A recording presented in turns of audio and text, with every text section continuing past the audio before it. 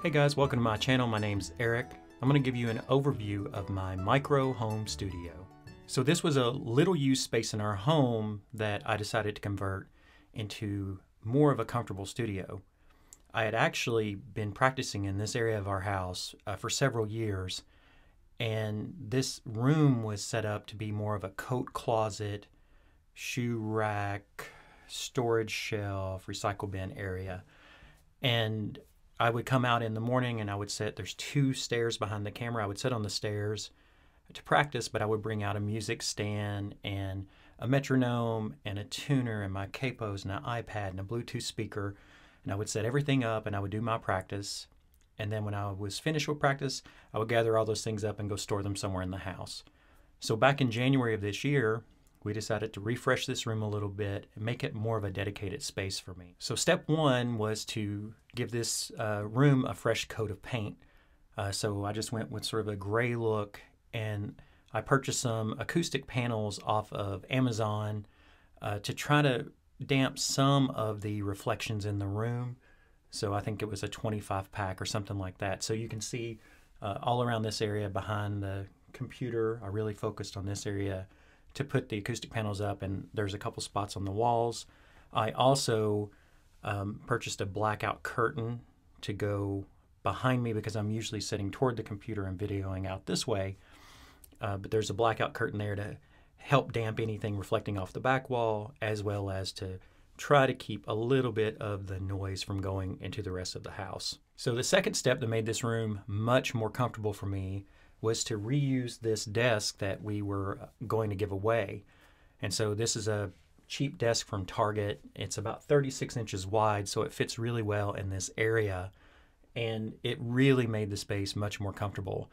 So to go from um, dragging all of those things out every time I wanted to practice to be able to have a dedicated area was really nice. I found this uh, small, armless uh, swivel chair on Amazon, and uh, it makes it really nice for being able to spin around and just be more comfortable.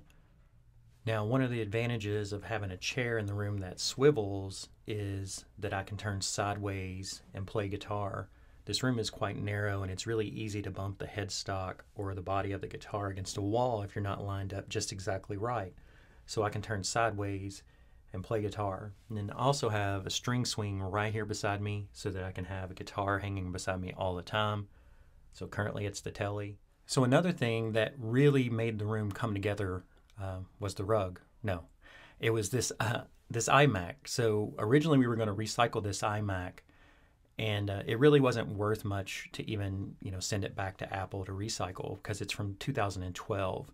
But I decided to do a factory reset on it, and just to see if I could use this to watch guitar videos and YouTube videos, and and it's actually worked really well. Now I've recently started using GarageBand, and it's uh it's actually performing pretty well for GarageBand. It's a little slow if you're trying to take videos and import them into iMovie and render movies and things like that. But uh, for my primary use case, which is YouTube and guitar videos through different guitar um, lesson sites, it works really well. And if you notice right below the monitor, there's this uh, little monitor riser. It brings the monitor up about five inches. Really helps uh, with not having to look down so much. And I think this was on Amazon for around 15 bucks. Um, I'll try to find a link to uh, this particular one if anyone's interested. But you know, bringing that up off the desk actually cleared up a little desk space for me and uh, brought the monitor up, so that was really nice as well. So this room doesn't have any windows and it tends to be very dark. Uh, there's a single light straight above just the room light that's on a switch, and uh, the room was just very dark to sit in. So I actually have there's a cabinet up above me, and on the underside of that cabinet I put an LED light uh, to to actually push some light down to the desk. And then I took these two clamp lights, right, that you can get at Lowe's or Home Depot, and I put a piece of parchment paper over it, uh, over the front, and just some paper clips around it, and that gives me a little more light in the room. Now, clearly, this isn't professional studio quality, but it does light the room up enough that I can actually make a video. So most of my videos are recorded on my iPhone. Uh, I currently have an iPhone 11 Uh, I think it's doing pretty well on the video quality. I'm actually using the selfie cam right now as we record, and the audio is coming from an iRig studio mic. I have it mounted on a boom arm, uh, which is just right here above the camera. And most of the videos on my channel have used this microphone, and I think it does a pretty good job.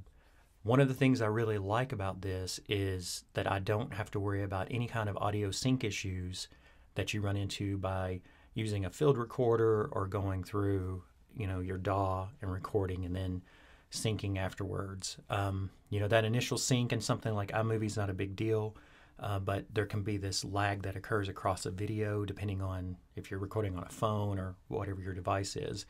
And I find those things pretty frustrating um, for just trying to make some content. So uh, I tend to stick with the iPhone and the iRig. No home studio will be complete without a set of headphones.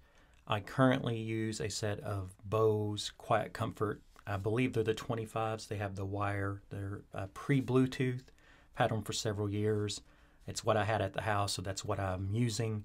Um, I've been looking at upgrading to a set of studio headphones, uh, but what I've had so far, it's been able to allow me to monitor and hear, um, you know, hear through the iRig mic um, what I'm playing. So, um, so that works pretty well. So something I'm really excited about is this new audio interface that I just uh, was able to get, and you can see it sitting right here. This is a solid state logic SSL2.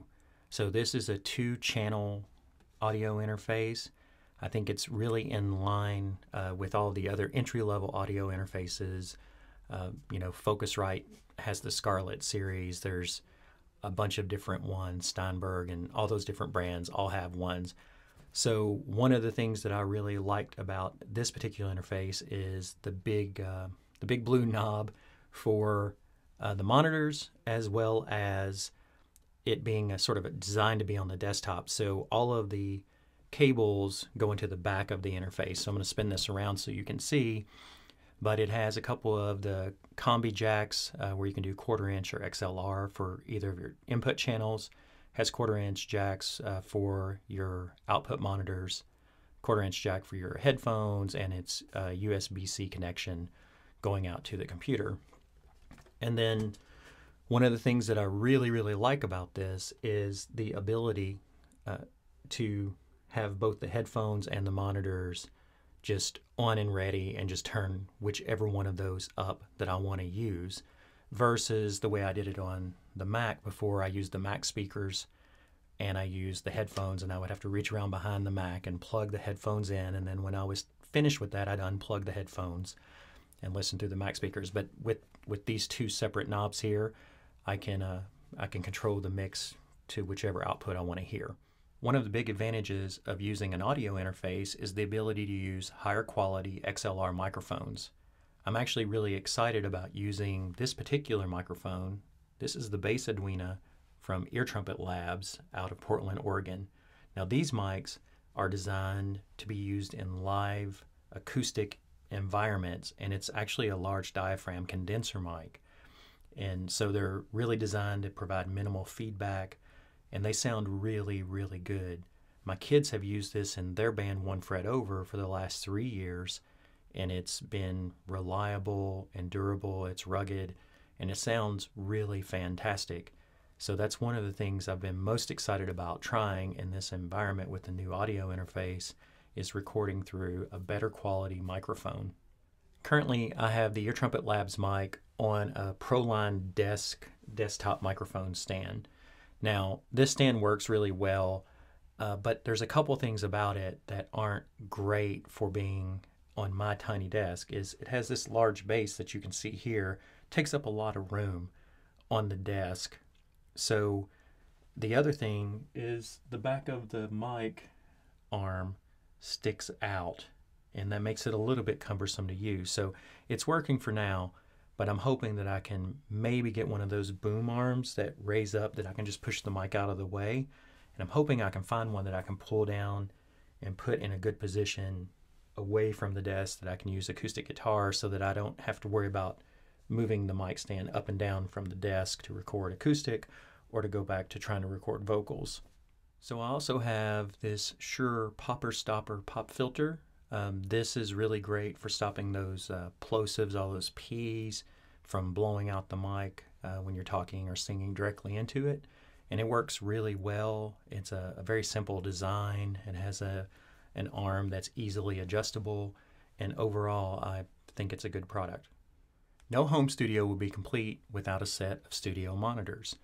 So I was looking for something that would give me better sound than just the iMac external speaker, but also would fit in the space on the edges of the iMac. And you can see that there's not a lot of room there.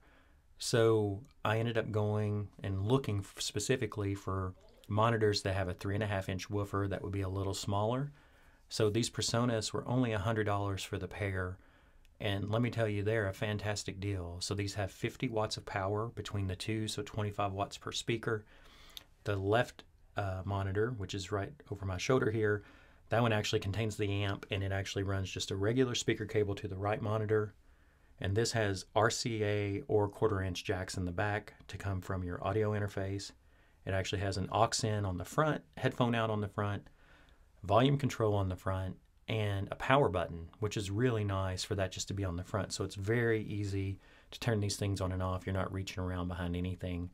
And they're really, really quiet, which I really appreciate. So there's no hiss or anything like that. Uh, it's it, they're very, very nice monitors, and they have a great sound. The bass in this little room, actually, there's plenty of bass. It sounds really good. It gives a really great stereo image setting right here and I'm overall really, really impressed with these. Now, one of the other things you might notice is the monitors almost look like they're floating, and that's because they're on a Stageek monitor stand. And these stands you can purchase on Amazon, they're aluminum, and they raise the monitors up about five inches, and they're C shaped uh, to free up some desk space. They even cant the monitors back about five degrees so they're firing up at you. And overall, they seem to be a really well made product and they work terrifically to sort of bring up uh, the monitors to give you a better stereo image. So thank you guys for sticking around watching the video. Hopefully it will give you some ideas for using a space in your house that maybe isn't as usable or a couple ideas for things that you might want in your space to help you better practice and play music.